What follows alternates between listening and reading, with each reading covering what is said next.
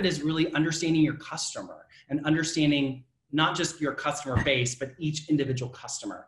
Mm-hmm. And so what we typically find is when when training or onboarding hasn't worked well, it's because we haven't done our due diligence in figuring out what the customer is really wanting to get out of their relationship with ZoomInfo, mm-hmm. or perhaps the customer has changed uh, their their need for ZoomInfo, and we haven't had that conversation with them. And so what we've done is when we see usage decline, when we see a bump in the road, for lack of a better term, that's when we deploy our account team resources. Each one of our customers has not just an onboarding manager, they have a training manager, they have a customer success manager, they have an account manager, they have customer support, and it's sort of the the shower them with with customer experience love uh, to figure out what's going on so that we can diagnose the issue quickly.